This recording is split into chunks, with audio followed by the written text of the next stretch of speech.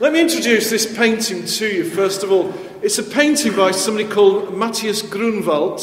It was painted in 1515, and it's the altarpiece in a monastery in a place called Isenheim. It was painted just before the Reformation. Uh, Luther's theses were 1517, so it's before that. But it's a sermon, a meditation on Jesus, our Redeemer, in a painting. We see Christ's dying body distorted by the torture of the cross, the thorns, the blood. And around the cross is John the Baptist on the right, a lamb at his feet, Mary Magdalene kneeling in prayer and Jesus' mother being supported by John, the disciple.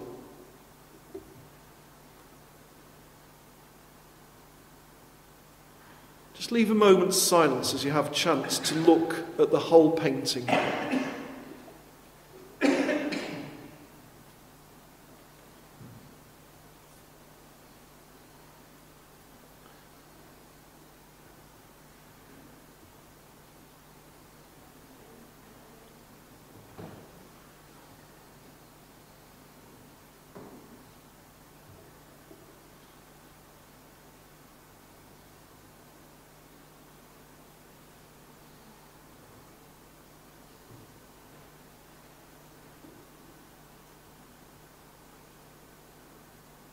What I want to do now is show you some features of the painting.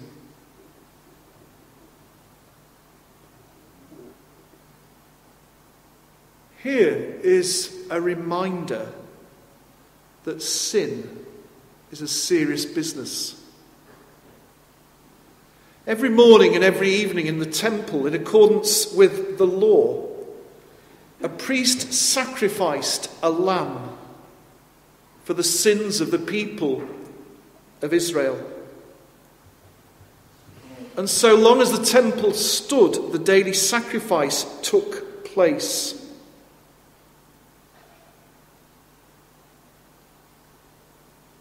This lamb seems to say, in the temple every day, a lamb is offered for the sins of the people. But look, the lamb's looking at the cross. Jesus is the only sacrifice that can truly deliver us from our sins. He was oppressed, afflicted. He was led like a lamb to the slaughter.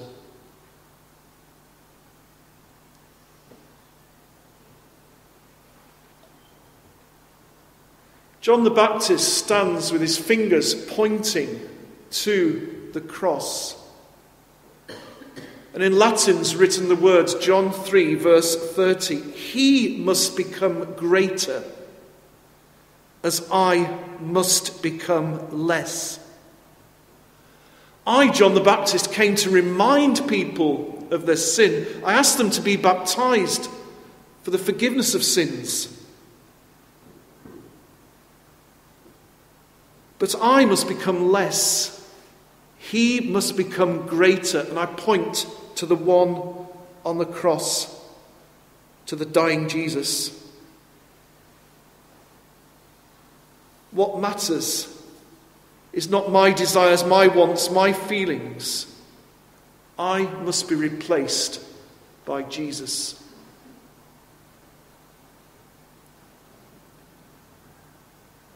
Kneeling before the cross, Mary Magdalene.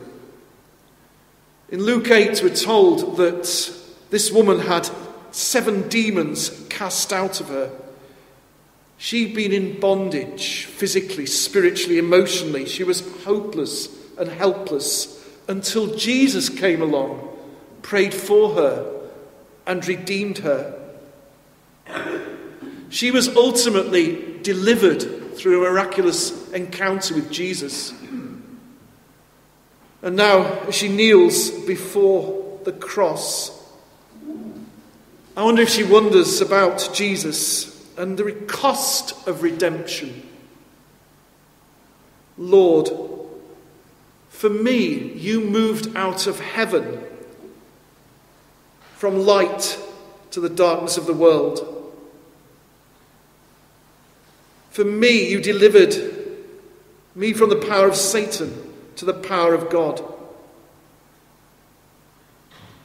You're being made sin for me, so I delivered from guilt to forgiveness. Mary Magdalene, who's experienced the generous redemption of God in life, kneels. Lord, have mercy on me, a sinner saved by your blood.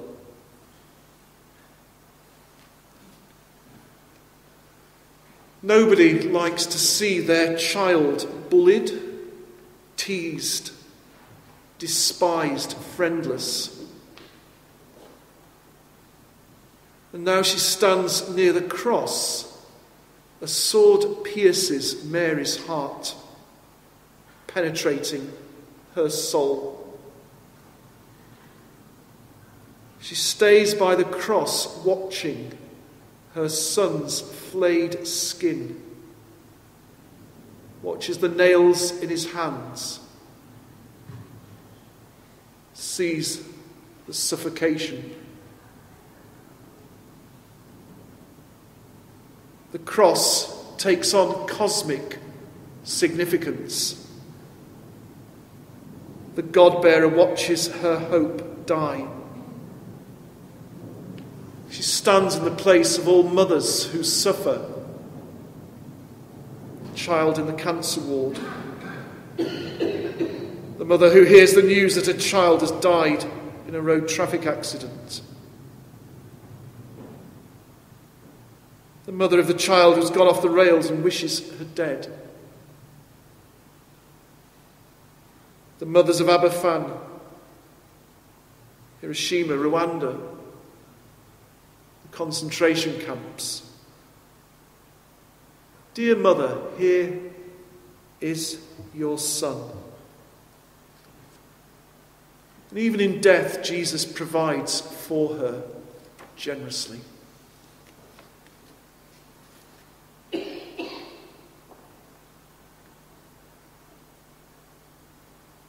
After this, Jesus, knowing that all was finished, said, fulfill the scriptures, I thirst.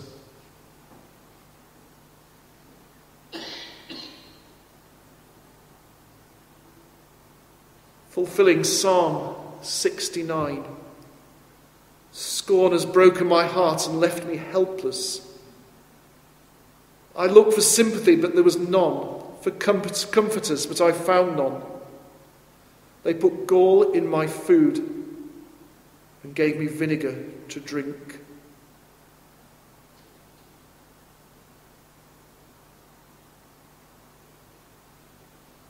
We can never understand suffering. But Jesus became human, experienced suffering on our behalf. As he takes upon himself the sin of the world in generous love. He cries out, I thirst. He knows the pain. Mozambique, deserts of Ethiopia, the camps of Darfur.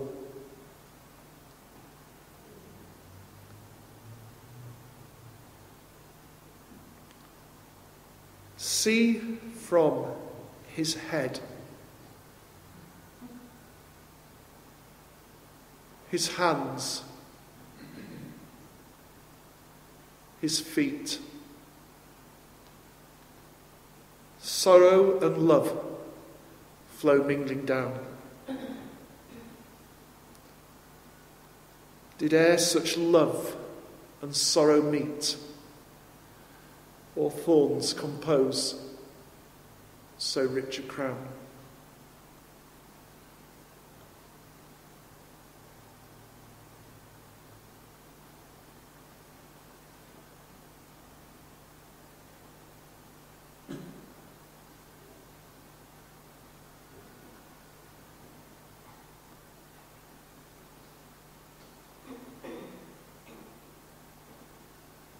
Last word he cries out is, It is finished. The Greek word, tetelestai, means paid in full, stamped on bills, on invoices when they were paid. His last words, It is finished. The three hours of torture, of agony, of rejection. It is finished the three hours of bearing our sin. It is finished. We're brought back from bondage and slavery.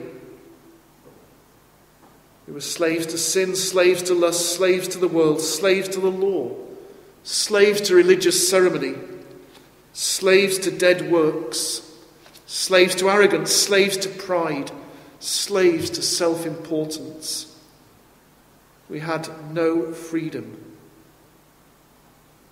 It is finished. We are redeemed.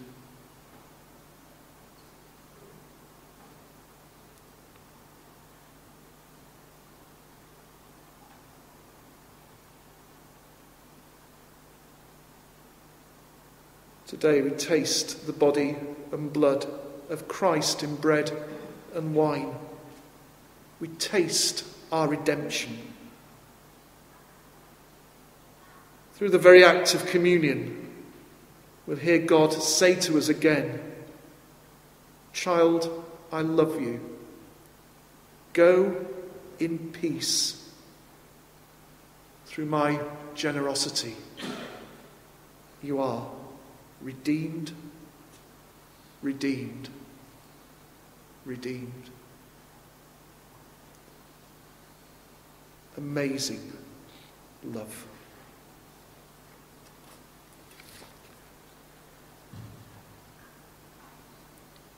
We'll keep quiet for a minute or two and then the service will just resume.